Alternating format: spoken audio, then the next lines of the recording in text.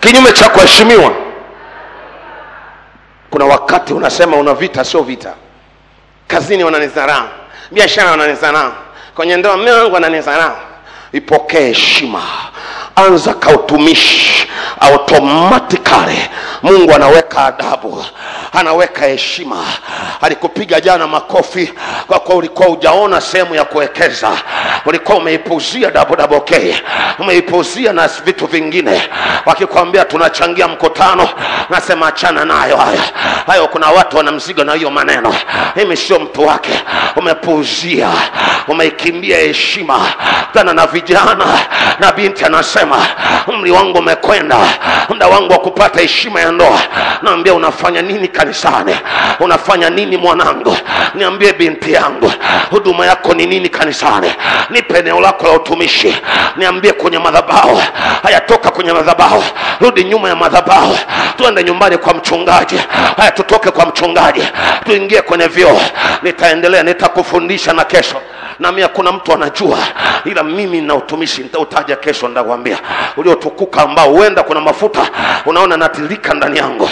Lakini siri yake jamaa mmoja wakati nahubiri kanisani kwao akanambia gregory acha ujinga. Sio wakati wa kudeki choo mimi na deki choo achana na upasta achana si na theolojia achana na digrii zile za dunia yesu alinipa, achana na huo ujinga. Mimi nasubiri muda kwetu kuna chekechea. Wakati watoto wameshaharibu sana kuna vyoo vyao na vyoo vya wakubwa. Naenda na maji yangu. Yule mtumishi wa kanisa ambaye kazi yake inaisha analipwa yeye ujira wake ameshaondoka. Mimi naenda na ndoo yangu. Wakati hakuna mtu ananiona hakuna mzee ananiona hata skofu wangu mwichelewi hata mke wangu sijawe kumwambia. Naenda na ndoo naingia choo cha kwanza namwaga maji nafagia. Nikisikia mtu anakuja naacha najikausha. Sitaki mtu achoe nimechagua na napofanya nasikia raha napofanya nasikia sauti ya bwana napofanya nasikia upako nikirudi ofisini baba anaongea na mimi kama mtu na rafiki yake. Watu hawaelewi lakini ni eneo baba ananipa kwa kudeki choo napata heshima. Jamani haleluya haleluya. Nitaongea kesho yako maeneo kumi na saba utapata la kwako. Mimi achana na uchungaji ni mde kichoo wa siri wa kanisani kwetu. Hata nikiingia hapa kwenu hakuna mtu wa kwanza nitamwaga imeshaingia kwenye damu. Jamaa akaniambia acha mambo ya kijinga ya kidhaifu sasa wewe umetiwa mafuta? Nikaambia nani katia mafuta? Aliyentia mafuta ndio anasikia raha nikideki choo akaniambia ni vile kanisa lenu halina watu halina hela za kutosha. Inatakiwa watu wanafanya kazi. Nikamwambia sio kazi. Mbinguni ni ngoma kuingia. Na mi nataka taji. Kila wakati nikijiangalia nikijifananisha na paulo najiona kama ndio natubu leo dhambi zangu naokoka leo. Unajifananisha na nani kwa mfano? Nikijifananisha hata na debora naona kama sifiti. Nikijifananisha na este naona sifiti. Mtu aliyefunga tatu kavu anapoteza heshima ya kuwa malkia.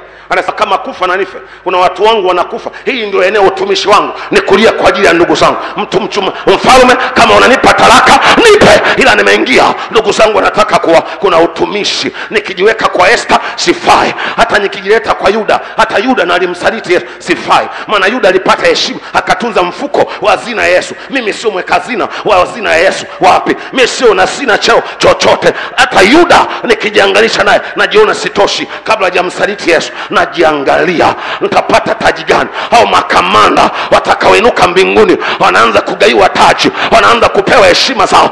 Mimi nitapotea wapi? Nitatokea wapi yesu? Ndio kuna vitu nachukua. Ili angalau nikitokea kwenye kiti cha bwana cha hukumu na kuna hukumu za aina mbili. Kuna hukumu ile ya watu wengine na kuna hukumu ya watakatifu. Nitaongea baadaye. Nikitokea yesu aseme mtumwa mwema au kujali heshima ulikuwa una deke mwanangu. Na kuna mtu alikuwa anaingia anaomba kwa dakika tano chooni. Kumbe ilikuwa ni kwa ajili yako. Alikuwa sikia harufu ya mkojo napewa taji. Wakiuliza kwa kuwa alikuwa na ubiri anaambia sio kweli. Alikuwa mfagiaji choo maarufu nitafurahi utumishi jamani haleluya haleluya. Tuko kweli ya ngapi? Tuongee ya nne basi. Ziko nyingi nitaacha nyingine. Haya nimesema kweli nyingine kweli nyingine. Utumishi hauna umri au muda maalum. Kuna wale saa kumi na mbili jioni sishangae mzee kalinga anaamka hapa. Anasema askofu dr swahi nasikia mzigo. Naitwa iringa nyumbani kwetu nikafungue kanisa. We inawezekanaje mzee huyu na mvi sasa? Ha, mungu hana umri. Mungu anaita. Kuna watu wanaitwa saa kumi na mbili. Kuna watu wanaitwa hawajui maana ya, ya dunia hii. Anamaliza tu form 6 anamaliza chuo kikuu ana, na digrii yake anaenda anaiweka kwenye kabati. Anaambia asante dunia kwa kunichosha kwa muda wote. Sasa yesu kazi kwako. Hajui maana ya mshahara. Hajawahi kupewa hata mia. Hajawahi kuambiwa hii ndio likizo yako. Hawajawahi. Tangu anazaliwa. Kwa hiyo kuna namna namna tofauti. Mungu anaita tuliona yeremia ameita akiwa kimtoto. Hujaona musa anaitwa akiwa tayari. Mtu mzima ana miaka arobaini tayari. Ni mkongwe kabisa. Fote yani zaidi ya miaka. Anaandaliwa kuwa farao wa misri. Mungu anamuita mkongwe. Anasema naye miaka themanini ana, anasema mkongwe hadi mia ishirini. Mungu yuko na musa. Tunaenda sawasawa. Kwa mungu hana muda maalum. Usije ukaanza kutukana watu. Ilikuwaje? Eti ame- amechezewa huko serikalini haya ni maneno ya kufuru. Baba mwenye shamba baba wa ufalme anaita muda wowote. Kuna wanaoitwa akiwa tayari anastaafu leo anamwambia sijakuita ustaafu. Nataka nitumie hekima yako ujuzi wako maarifa yako njo kanisani. Utakapo kwa dr swai kama mchungaji msaidizi katika eneo la utawala au na miundombinu utaelewa mwenyewe huko baadaye. Kwao nakaa pale nasema mchungaji ana upendeleo. Ambia sina upendeleo Ah, ah, alinifata mwenyewe. Kanisani kuna mzee. Ambaye ndio mzee kiongozi pale. Ah, aliacha kazi. Alikuwa anafundisha. Akamwambia askofu sisikii tena kuendelea. Wanamtumia baraza la mitihani. Akasema sisikii tena. Ila naitwa ndani yangu. Nasikia nifanye mambo ya utawala. Ukinipa pesa sawa. Usiponipa sawa. Nasikia nikusaidie. Gregori yuko biza na ubiri. Nani anapanga hapa? Nani anaelewa mambo yanatokea? Nataka nikusaidie oh, mungu ali hai anaweza akawaita watu jioni kabisa.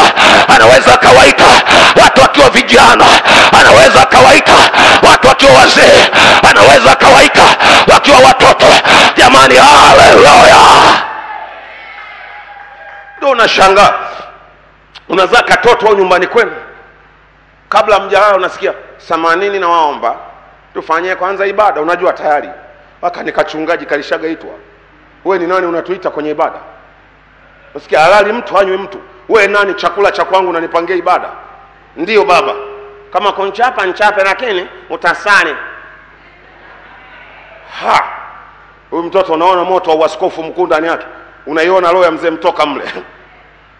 Na miaka kumi na tatu wa namtaka bwana na nguvu za mbona mmekaa amkeni kwenye makochi? Ha! Huyu mtoto barasa sio balaa mungu anaita wengine watoto. Jamani haleluya. Oja niongee hapo utanielewa kidogo. Kuna wengine wanaitwa kwenye eneo la kutegemeza madhabahu hujapata kuona. Unaenda na mtoto mi na watoto wetu tukienda natamani akuulize baba tunabeweka nini kwa babu tunapeleka nini kwa bibi? Bibi yao ni mchungaji wao ndio mchungaji wangu. Kwa tunaenda nini kwa babu? Mbona tujapeleka hata nyanya? Mama tunuia hata sukari. Anajua unasema aha huyu mtoto atanifaa. Kama akikaa kwenye kanisa langu mwenyewe babake ah, huyu mbona nitakula la duniani? Huyu ategemeze madhabahu unajua ana mzigo na madhabahu yani anawaza sio ishu ya bibi. Anakwambia tunaenda kwa bibi lakini kwa mchungaji. Mbona tujabeba sukari? Hujamuona isaka eh? Anaenda kuchinjwa na baba yake, anaambia sikiliza mzee najua mambo ya ibada ulinifundisha. Kuni zipo ah, moto upo iko wapi sadaka? Ulisema tunaenda kuabudu. Kuna watu wanajua mungu amewekeza ndani ya mambo ya kutoa. Kakiwa kadogo unaenda kutembelea tu mama ima anaambia mama tupitie dukani. Kufanya nini na wewe? Acha kelele. Ah, ah, tumchukulie hata nini? Hata hata koka. Alafu na wewe mtoto. Kumbe mungu kasema "Mm, haya asante mwanangu eh. Eh, naomba sukari kilo kumi na nne. Mungu anaweza kumtumia anaweza kaita yeyote. Msianze kuwapiga msivunje hivyo vitu. Msiharibu ni kama tumeua vipawa afrika. Tunaongoza afrika na tanzania kuua vipawa unaona mtoto wako anaanza kuchukua simu yako kashaitoa kava ametoa huku ameanza kutoa na memory card unamtandika makofi. We mtoto! Hiyo ni iphone x moyo wangu. Moyo wako ni iphone x acha apasue. Shida ndo zinatutesa tumeua mainjinia na maprofesa kwa sababu ya mambo hayo. Na yesu akanaambia vile vile liambie kanisa langu kokote utapita. Watu wameua utumishi wangu kwa namna hiyo hiyo. We bado mtoto unajua nini mambo ya kutoa wewe? Hem nyamaza kimya. Hujawahi kuona eh? Mto, kuna watoto wengine ukiongozana nao makanisa jirani anaweza kakutia aibu. Huko pale mzee nyandamba eh, haya na mzee kavishe pale. Haya changizo changizo changizo. Haya mwenye laki tano mtoto wako baba baba na mama laki tisa. Wewe mtoto ushatutia aibu! Hamjawahi kuviona hivyo vitoto kinondoni hapo, kinakutia aibu. Askofu dr swai dr swai ngoja na neno. Mungu wangu kamera yeni ytv imegeuka pale. Wa ehe neno gani?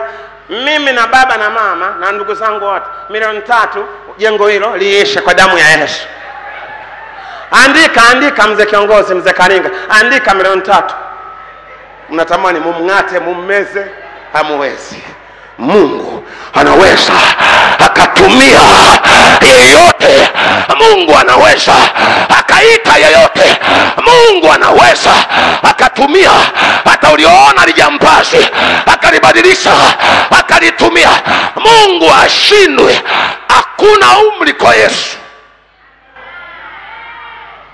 si hapa kwenye sehemu unasema mi nikijiangalia mi muda wangu naweza nahisi kunyakuliwa. Hakuna anayenyakuliwa hapa bado.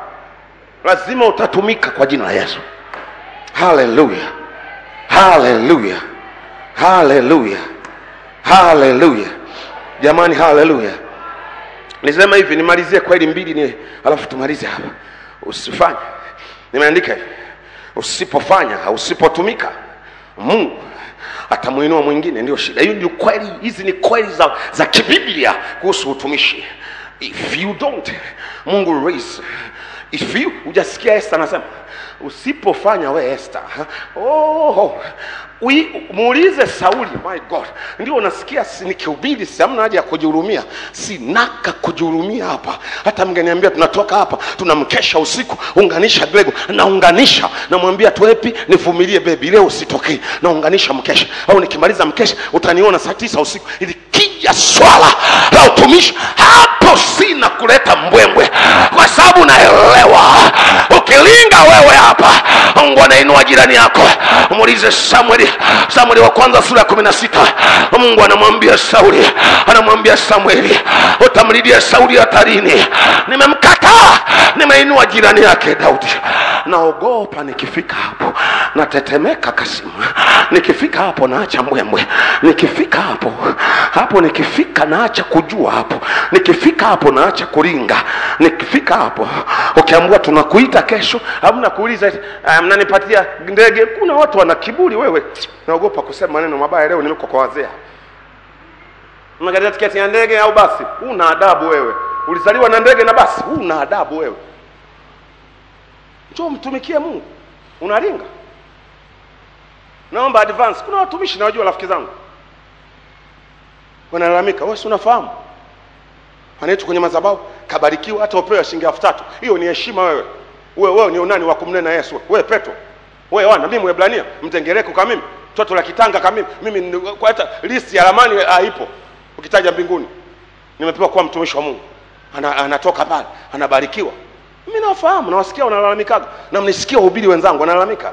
Eti ile kazi niliyofanya wewe nani? Kazi ni lako. Wewe unatoa jasho ili jasho si la yesu mimi nalo natengeneza jasho mimi. Mimi natengeneza jasho mi nina upako mimi. Mi nina nini? Na neema nimetoa wapi? Si vya yesu vyote. Kuna mjinga mmoja analinga eti. Kazi niliyopiga ile. Wamenitoa na laki moja na nusu. Huna adabu wewe. Huna adabu wewe. Wewe ni wakuweli wewe ulizaliwa na upako. Muuni ni mkubwa wewe. Yesu kakuchukua kakuoshe na damu kakupa heshima nitumikie. Sina maana. Mungu alisema tule kwenye madhabahu. Wasema kakatoto vipi? We na asira nikifika kwenye utumishi. Wameingia wauni wengi hapa asanteni kunisema niongee haya maneno haya. Asanteni sana. Wameingia wauni wengi kwenye utumishi. Yesu anatukanwa sana kwa wauni wachache. Umeshindwa kazi rudi viazi. Kashone nyavu. Hapa sio mahala pa kutajirikia ila ni mlango. Mungu akiamua kukutokezea ni sawa. Hewala ah, samani. Yani sawa tu. Jamani amina. Jamani amina kwa hiyo usije ukamlingia yesu. Usoma ile luka tatu nane. Anasema hata kwenye mawe haya hawa sio kizazi cha ibrahim god can raise. Unalinga na nini? Tena na watu. Eti kisa hajaitwa hajaitwa apostle hajaitwa pasta hajaitwa reverend anaanza kuvimba. We reverend ndio nini? Acha mambo yako wewe kaitwa gregory. Au ungeanza na reverend. Kuna matangazo unaona mtu anaandika anaanza kukumaini. Hapo hamjaweka matangazo vizuri. Naomba mchapisha jingine. E, natakiwa mwanze na reverend dr ma, magogogogogogo wewe. Pepo zinatoka kwa dokta na ureverend. Ni utumishi. Jamani amina. Jamani amina. Jamani haleluya nimalize hii kweli ya mwisho. Kuna kupimwa. Ah, ziko mbili. Kuna kupimwa mbele ya kiti cha hukumu cha yesu. Hii ni hukumu ya watakatifu. Naomba andika tuandiko nisiseme sana hapa. Kuna kupimwa wakorinto wa kwanza kumi na moja hadi kumi na tatu. Nidadavua hapa. Kuna kupimwa. Kuna yanatokea majitu kutoka kinondoni. Nikasema yesu we lini uliwahi kuchukua mkopo kwa ajili ya yesu tunakopa kwa ajili ah, kuna kale kajumba tumalize. Unajua tutaachia nini watoto? We nikwambie usipumbazwe na watoto wako ishirini kumi na nane. Siseme tusiwekeze ulisi ah, tuwekeze. Usisahau kuna mbingu. Tutatokea kwenye kiti cha hukumu cha yesu. Alafu kazi zetu zitapimwa. Nampenda mtumishi wa mungu paulo. Wa korinto wa kwanza tatu kumi na moja. Anasema kama kazi yako ikiteketea ndio hivyo tena itapotea. Utaokolewa kama kwa moto. Lakini ikikaa ikikaa kazi zetu zitapimwa. Na ipenda ya mwisho nilikwambia nishahubiri hii. Nataka nimalize kwa dakika tano hapo nikezeme kitu kimoja cha leo. Nitaendelea kesho kuhusu utumishi. Kuna kupewa thawabu kuna taji. Ndio waliimba kanisa la mwanzo lilisamasisha kuhusu utumishi. Walisema tukimaliza kazi eh? wanaimbaji wanyakyusa napenda wanyakyusa mimi nawapenda. Hebu ni mseme wanyakyusa mnaimbaje? Sijui nini sijui Nyimbombo, sijui nini. Ha? Hivyo hivyo. Tukimaliza ka tutavalishwa ta. Usikuizi hawaimbi tena. Tume, tunaona dunia tumefika. Utumishi ni kazi. Iko taji ya thamani. Yesu atakuvika. Na leo sio somo lake hapa ningeweza kudadavua. Ziko taji za aina saba. Kuna taji ya haki watu wa haki watendao haki. Ah hacha niishie tu ujue kuna taji tutavalishwa. Jamani haleluya. Niseme kwa tafsiri moja ya leo uondoke nayo. Nini maana ya utumishi? Ile ni kweli nilikuwa naongea kweli kama nane za utumishi. Niongee maana ya utumishi. Moja tu alafu usimame. Alafu tutaenda kusimama na kuomba mungu leo. Alafu nisaidie kualika na mwingine. Utumishi ni nini? Utumishi kabla unaandika sio uchungaji peke yake. Utumishi ni nini nataka niongelie hii ni sasa sio kweli ni tafsiri. Ziko tafsiri tano tutaongea sana. Kesho tutazimaliza alafu napata haraka niunganishe maeneo kama saba. Kesho kutwa niongee vizuizi. Kwa nini watu hawatumiki leo? Niongee vizuizi. Kwa nini viwango viko wanatumika viwango vionekana nitaongea pale. Alafu nitaongea mambo mengine ya kufanya ijumaa. Itakuwa ni kindumbwelumbwe tu maombi hapa. Ni kuambia mungu rejesha. Ijumaa usisahau. Tutaambia mungu rejesha. Kuna wale walikuwa wanaona samani walikuwa na uwezo wakaona macho ya rohoni anaona kabisa anaona akiwa hapa anaona anaona kwa njia ya ndoto anaona kanisa halitachezewa tena. Watumishi wakirudi kwenye nafasi zao waonaji wakaona tena. Oh mi nakwambia wewe kuna kanisa nilikuwa na sari nilikuwa na mimama na sari nayo naomba nayo. Yani hata ukiwa unaingia yani nilikuwa naanza kujitakasa nikiwa njiani najitakasa ile mimama inaona inaona inakuona mpaka sijui nini mpaka kama umekula mpaka kwenye tumbo. Nawe mtoto wewe tulikubaliana tufunge mwanangu. Naambia ndio mama mbona umekula? Unakuona umekula. Si hizo hapo daga? Yani umemwacha mungu kwa daga. Naambia mungu wangu mama naona yani kama kioo. Hiyo mimama hiyo nikiwa njiani na tu baba najichovya kwenye damu najichovya. Damu damu damu nitakase mawazo najichovya kwenye damu. Nikiingia mama bwana siwe shikamoni mama zangu. Karibu leo umejitahidi kuwahi. Umekuwa mwaminifu eh? pale njiani sheri ulikuwa unatafuta nini? Ile mimama ile ilinisaidia ikanijenga mpaka leo ile. Mungu atarudisha ijumaa itakuwa ni kindumbwendumbwe hapa kindumbwendumbwe hakuta tena eti unataji password ya mme wako ya nini? Unamwambia mme wangu naomba hebu naomba simu. Password naambia ngoja sini zedi? Yesu wangu. Naambia badilisha nyingine. Haya. Umechola yu. Mungu wangu mke wangu simu yako hiyo tunachezewa leo kwa sababu tumeacha eneo la baraka la utumishi. Mungu ataleta. Nimwambia, akaniambia tangazie kanisa. Ijumaa itakuwa ni siku nitashuka nitarudisha macho nitarudisha masikio yao nitarudisha moto wangu. Hata leo anaanza kufanya. Kuna watu mtaanza tena kusikia raha ya yesu. Kuna watu ulikuwa unapika unasikia na penzi naimbwa ulikuwa unapika na mme wako alikuwa nawahi kurudi. Kuna vitu umeacha. Utumishi ni moto ni mzigo. Acha niongee sentensi moja na dakika zangu tatu hapa. Utumishi ni mzigo. Muuliza yeremia nirudi kwenye andiko tulilosoma. Anasema nikisema ni nyamaze moto unaniwaka. Ni mzigo. Utumishi ni mzigo. Kuna watu wana mzigo. Akimwona tu askofu akimwona mchungaji anasema hapana hapana. Sijakuona umebadilisha suti. Ni mzigo. Nakwambia na mtu mmoja akanifuata. Akaniambia pasta unavyobadilisha naomba duka lako la suti. Nikaambia sijui hata zinauzwa wapi. Sijui. Duka lako la viatu. Nikaambia kuna watu wana mzigo. Akiniona anasikia kuniuliza na suti nyeusi unayo? Naambia sina hauna suti nyeusi na makeke yako. Naambia sina. Anaambia nipe muda. Unasikia unavaa kiuno saizi ngapi? Unampa. Unasikia ghafla anakuja nayo epi? Anaambia mzigo wako huo. Umetoka kwa mama fulani. Nisikilize. Na nikifika hapa nataka uelewe. Mzigo utumishi unapozungumza mzigo hauhitaji hauangalii fedha. Kuna watu wanafanya mambo makubwa mpaka naogopa. Kwenye maisha yangu. Siku moja nikiwa nimekaa ofisini ilikuwa ni siku nzuri ya upako kweli kweli. Yesu akatembea akafanya makubwa ila ndio siku eh, nilitoka nyumbani na pochi tupu narudi na pochi tupu. Wakati niko hapo nje nawaza yesu narudije nyumbani? Naomba unikamate nafumba macho nichukue kama filipo nipeleke nyumbani nikaone angalau watoto wangu. Sijui narudije niko hapo. Wakati nimekaa njiani akaja mjane. Mwenyewe anasaidiwa na kanisa baba askofu na mama. Ndio wanamsaidia yule mama. Wanampangia kila kitu wanamlisha kila kitu kila kitu wanampangia. Akaja akaniambia mwanangu naomba nikusalimie. Nikaambia bibi naomba nimtaje tu maana hawezi kuingia hata facebook wala hawezi kuangalia. Nikamwambia bibi wile shikamoo. Bwana asifiwe. Akaniambia njoo mwanangu nataka nikupe kitu chako. Akafungua findo ni la, la kanga yake la kanga. Akafungua alafu akachukua pesa yake. Ni kama ilikuwa akiba akanigaia.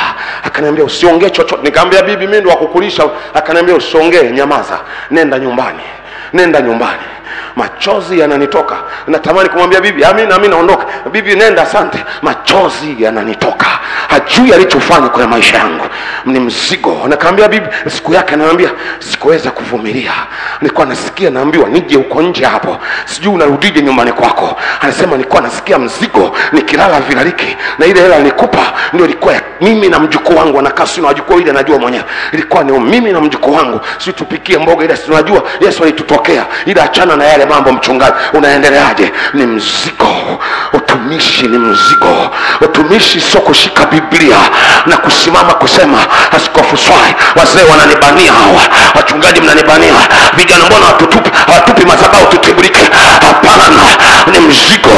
Wenye zambi wako wengi. Kama we ni mwingilisti vituo vya daladala ni sehemu yako. Nyumba unazokaa ni madhabahu. Unaweza ukashuhudia utumishi sio kuonekana. Nitaongea kesho na kesho kutwa. Kanisa limevamiwa wanataka waonekane wanataka wauze sura. Watumishi sio kuuza sura watumishi sio kuwa na majina makubwa.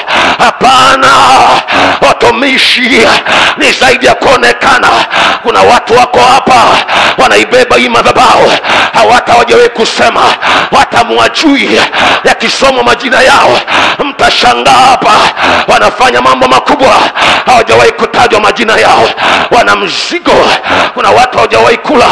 Wanamuuliza ulikula lini? Anakwambia tangu januari nakula kidogo usiku. Ana mwezi wa kumi sasa. Yupo kwenye maombi anayombea madhabahu. Anasema tunamuona bwana. Askofu akisimama, wazee wakisimama wachungaji wakisimama wakina gregori wakija. Tunaona upako. Kuna mwanamke ajala kuna mwanaume ajala.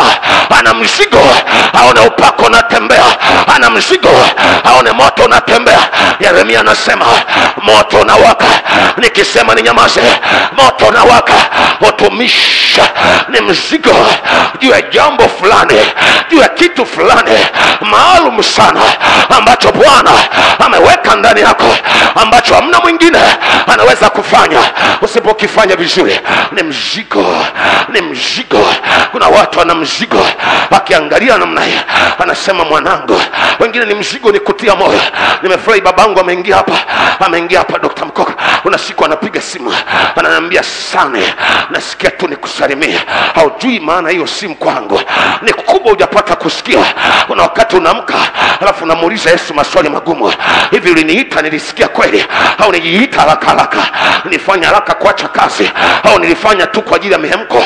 Wakati unatafakari chumbani unasikia simu inatoka. Unasikia nani ah, ah, kakaako hapa? Nani kakaako kavishe nani mzee wako makalinga na mzee wako kalinga?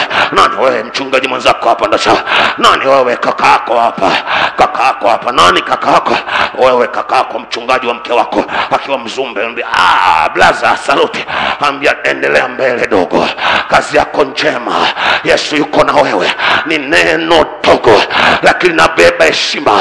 Acha niongee kwa uzuni wa mama mliopo hapa. Leo nimeacha kulaumu tena nimeacha kulaumu wadada, nimeacha kulaumu vijana wa kiume. Kuna wengine walizini hawakukutana na mwanamke aliyewaambia binti yangu utaolewa katika wasuli waliopo duniani na wewe ni mzuri mwanangu. Mngoje bwana huyo ni mzigo wa kuwatia moyo mabinti. Umeacha alafu unashangaa mbona mimba zinaongezeka? Mbona wanaoanguka ni wengi? Kuna mzigo hausikira usipowafata mabinti wawili watatu hata kama kuna ndege inakusubiri ikulu unamaliza ibada unasogea mabinti unaambia sogea mwanangu unamkumbatia unampiga mgongoni unaambia yesu anakupenda. Nitaongea kesho maeneo ya, ya mzigo lakini nataka uondoke unaelewa. Watumishi ni mzigo juu ya kitu maalum kwa wakati maalum ambao bwana ameweka ni mzigo. Unaweka ulikuwa umepewa mzigo yani we mzigo wako haujapewa kulisha kuku hapa lakini mzigo wako ni kuuliza mbona meza za wazee hazina maji ya kunywa? We mzigo wako ni kuangalia ana sio ni maji pale? Kwa mzee nyantambamna kwa mama pale hakuna haiwezekani. Hakuna maji. Unatoka nje unaenda dukani unaambia peleka nitakulipa mwisho wa mwezi. Mzigo ni kitu cha maana. Huwezi kutulia iya yeremia arobaini na saba saba. Anasema nane anaweza kutulia? Bwana akikupa mgizo akikupa agizo au mzigo ni mzigo. Hautalala hautakunywa maji hautasikia raha hauwezi sikia vizuri. Kuna watu wana mzigo na mambo ya umisheni nitaongea hapa. Ukiona fungo au sadaka ya umisheni haijawekwa unaenda kumnong'oneza mzee kiongozi au mzee wa zamu unamwambia asijaona kapu sadaka ya umisheni. Ukifumba macho ukifumbua mzigo wako hata ni mia tano. Nasema natamani weke pale mzigo huo ni mzigo. Wengine mzigo wao ulikuwa ni kuombea ndoa za watu hamna anayekulipa hakuna anayejua. Haujawahi kuongea nao. We mzigo wako ni kulia kwa ajili ya ndoa. Unaamka saa sita unaanza kugua. Unaomba kwa ajili ya ndoa yesu wape mtoto. Yesu wape mtoto. Hawakujui. Hawakuelewi hakuna anayejua ila unajua ya kwamba kuna taji kwa baba kuna thawabu. Nisipofanya kuna mtu atainuliwa atafanya vizuri. Nishikilize kanisa. Hizi ni nyakati yesu anataka inoe. Moto wa utumishi ndani ya maisha yako. Utumishi nitaongea kesho. Tafsiri ingine tano. Ya kwanza leo ni mzigo. Wakuwape mzigo kwa watoto wa kiume. Leo wanasagana. Wanafanyiwa usodoma wanafanyiwa usodoma niko nafanya huduma ya wanafunzi. Nashukuru mungu wazee wameniweka tena. Nafanya ile huduma. Kuna siku nimeachwa na ndege. Kilimanjaro. Nimeachwa na ndege. Ndege iko tayari. Naona majira tayari. Nikasema mungu haujaniitia ndege. Sanza nimepewa heshima. Sikununua tiketi. Kuna mtu alijitoa. Acha ipotee. Yule binti naondoka. Anaambia gregory anaambia pasta nimesagana kwa muda mrefu nimetosha. Kijana mdogo mwanafunzi anaambia imetosha. Babangu achwe mamangu achwe. Ni mtu mkubwa baba.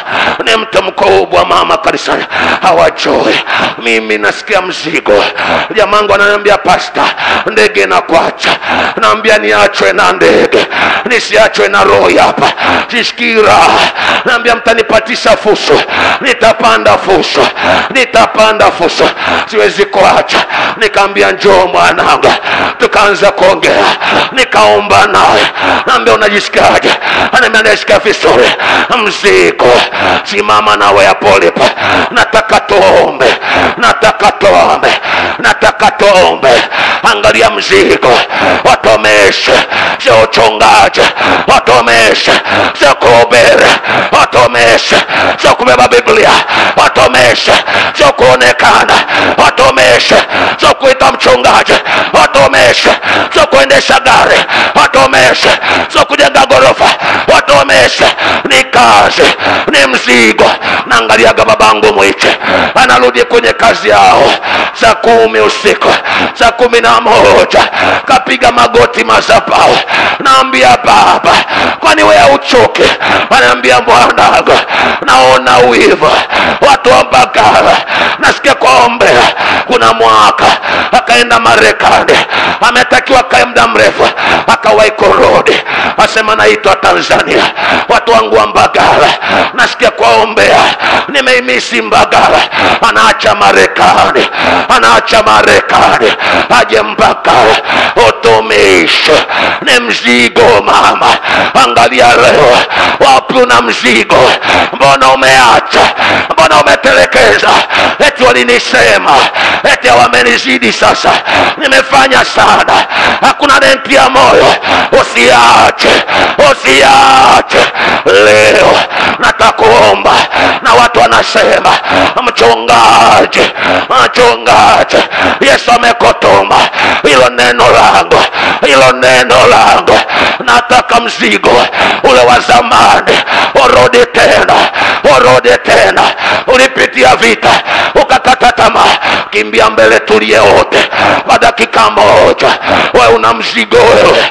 Una mzigo na madhabahu umeiacha madhabahu una mzigo na mchungaji. Siku hizi tena. Una mzigo na wazee. Umeacha leo. Una mzigo na vijana umeacha leo una mzigo na watoto umeacha tena una mzigo na ndoa. Kimbia tuombe. Rakatoska rapakaida yakasakataraba siondoki hapa. Yesu ananiambia kuna watu walikuwa na mzigo zamani. Hivi sasa ni kama unaisha haujaisha. Kimbia kwa madhaba yesu ni babako. Usiangalie watu. Kuna taji mbinguni utapewa taji yesu ameniambia hawezi kuinua mtu bado anakupenda. Anataka akutumie wewe heshima yake akupe wewe ule mzigo ule mzigo kusubiri we mtu. Sijawahi tumwa bure. Namjua babangu namjua yesu. Na kule nyuma anza kuomba. Mwambie baba nataka kufanya tena vema. Ambie baba narudia zama zangu. Mwambie baba moto wako usizime. Kama yeremia anza kuomba. Yesu yuko hapa. Yesu yuko hapa. Yesu yuko hapa anatembea anatembea anatembea.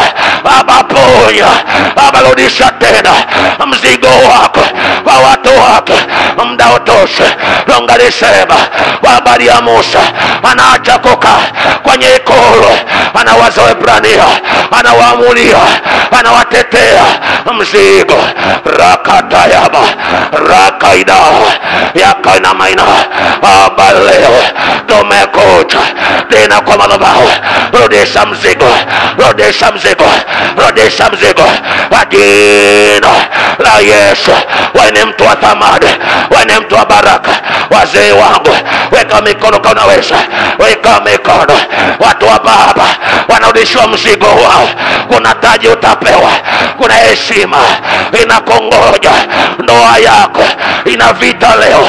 Umeacha mzigo kazini kwako una vita tena. Umeacha mzigo pokea tena leo. Usiache kuomba. Naweka mkoda kamoja, moja naweka na kwa mwingine. Raka inabaika. Baba turudie tena. Wekila kutembelewa wekila moto kuwaka wekila moto kuwaka wekila moto kuwaka weka mzigo kwa wadada weka mzigo kwa wababa weka mzigo kwa vijana weka mzigo kwa wabebe weka mzigo kwa wafanyakazi weka mzigo kwa wafanyabiashara weka mzigo kwa wanafunzi weka mzigo kwa jina Yesu. Rudisha shauku yako